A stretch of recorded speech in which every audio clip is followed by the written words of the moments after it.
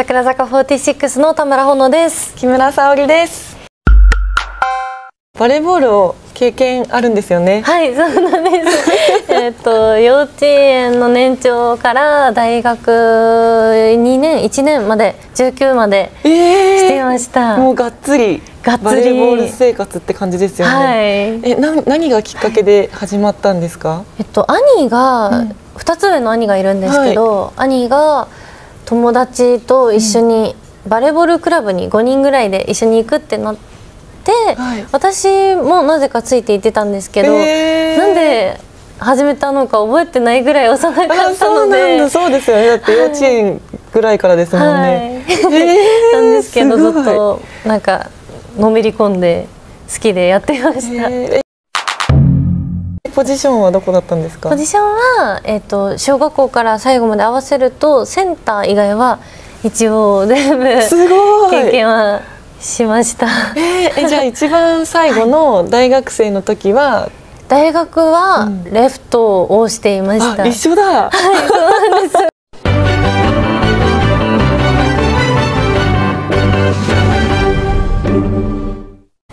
リベロがもう私大好きで、うん、一番好きなポジションなんですけど、えー、ローリング。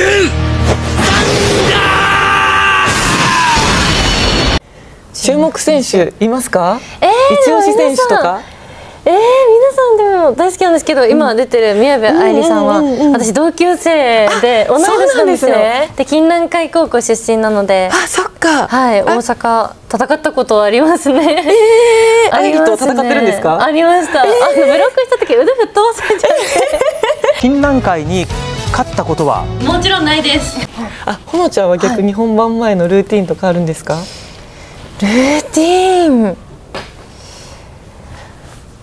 私もでも特に何かを決めていたわけではないんですけど、私もあんまり口数多くならないタイプだったかもしれないです。集中する、はい、集中してあでも体中叩いたりしてました。あ私もそれやりました。なんか叩くといいって。必ず試合の前はお家でパルコーだったり世界バレーだったりその必ず録画して置いてるので自分が好きな試合を見てイメージトレーニングを絶対やってました。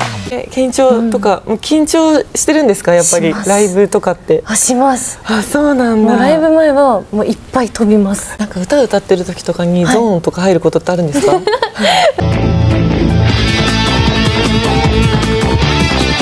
すごいこうお客さんがピンポイントで見えるとか なんかそういうのあるんですか？ああそれは割となんだろう歌歌ってる時とかは、うん、一人一人が見えるというよりかは特に集中してる時はなんですけど、うん。うんうん、景色として見えることが多くて。どっから飛んできた流れ玉サーブは何何だったんですか？種類。あ私もジャンプフローター。ジャンプフローターだったんですか、はい、へすごい。え最初から？は始めた頃は？もうあのこのなんですかね。これで一生懸命。それってやつ。ってしてました。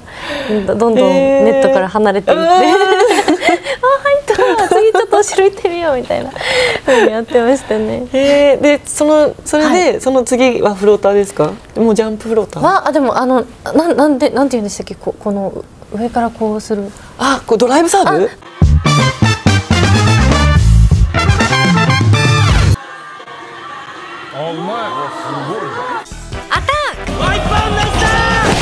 すごい。ドライブサーブすごいですね。あれ難しいですよね。ちょっと。高校時代不足が厳しくて、うん、そんなんじゃ B 組に勝てへんね。その体、体調体型のこととかでそうなんだ、はい、高校生の頃から。そうなんですよ。なんか食べちゃいけないものがすごく多くって、えー、えー、厳しい学校だったんですね。はい、毎月体脂肪だったり体重身長とか全部測ったり。よよよようまいよ。焼肉よ。味よオッケーよ。オフは決まってないっていう学校が多くて、はい、私もそうでした。あ、そうでしたか？はい、ええー、じゃあもういつ休みかわかんないみたいな。オフがないのが、なんかふ普通だったというか。えー、そうなんだ。はい。え、寮だったんですか？私は寮ではなかったんですけど、全然通える距離ではあったんですけど、うん、私も家からそんなに近いわけじゃなくて割とみんな電車で頑張って通って。5時に起きて夜10時に帰ってきてもう即寝てすぐ気づいたら朝でっていうのを365日3年間続けてました。まあまあ厳しい高校ですね、えー、私はレシーブがすごく好きだったので。ナイスレシーブ。はい。いいいいというかもう本当に、まあ、は走る、うんうんうんうん、まあ、でも絶対そんなの無理やんみたいなところまで飛ばされて ちょっとイライラしながらとりあえずとかとりあえずこう行くやつですね。行かなかったらそれはそれで怒られちゃうからとりあえず行くんですけどなんかスパイクって毎回絶対飛ばないといけないじゃないですか。うんうんうん、あれがもうどんどんどんどんどんどん飛べなくなっていっちゃうのが本当にしんどくて。ブロックだから私多分あのセンターとかさせてもらえなくて そういう細かい動きとかなんかブロックのそういうなんだろう体感とかすごい大事じゃないですかセンターの方って。そういうのもできないし、うん、あのなんだろう速攻とかも全然そういう細かい動きできないので、ほのからのトス受け取って。届いた。届いた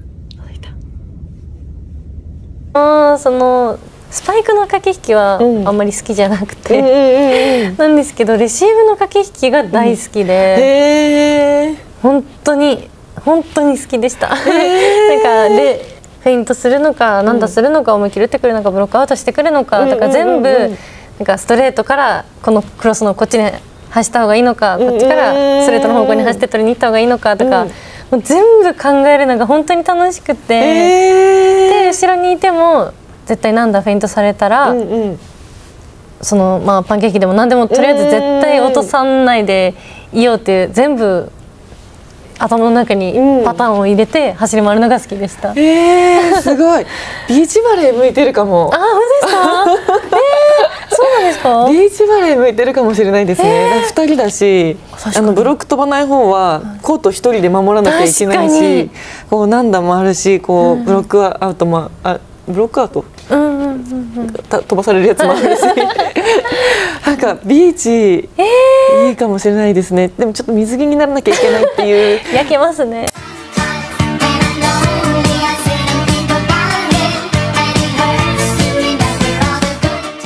えなんで本当にアイドル行っちゃったんですか？もうちょっとバレーしてほしかったです。バレー。え見たかった。なんか多分この発言というかこの感じはめっちゃうまいですよ本当に。いやいやいやいやいや、えー、めっちゃめちゃめちゃ好きでした。バレーボール大好き。リベロの方と2人でレシーブ回そうねっていうぐらい本当にレシーブが好きでした、だから前に回りたくなくて。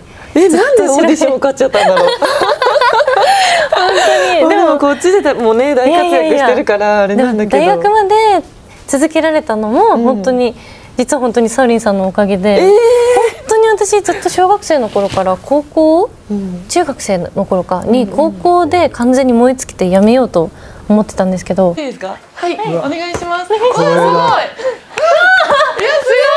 い。えー、私あのその時にちょうど、うん、サウリンさんがそのキャプテンをするかしないかみたいな時期でそうだったそうなんですよ。でなんかあのずっと監督と話し合って、うんうんうん、でなんかその時に何か番組だったかで、うん、なんか選択肢が2つあった時に、うん、なんか難しい方なんか言いうん、言い回しかは多分違うと思うんですけど、うんうんうん、難しい方を選ぶみたいなことをおっしゃってて、それでキャプテンをを続ける道を選ばれた姿を見て、うんうんうん、私は多分大学でバレーボールを高校でやめた方が、多分この先の人生まあ、楽と言ったら言い方は難しいですけど、まあ、またね選択肢もい。ろいろ増えるしね、はい、バレーボールをする道の方が自分的に厳しい苦しいと思っててでもそういう姿を見てするって決めました、えー、えー、そうなんですね、はい、人生を変えてくださった方です。えー、そう思うとなんか一つ一つの発言、気をつけなきゃなと思います。いやいやいや力になんかそう本当そう、えー、サウリンさんのようになりたかったので、えー、バレーボーラーとしても人としても。なので真似してました何もかも。えー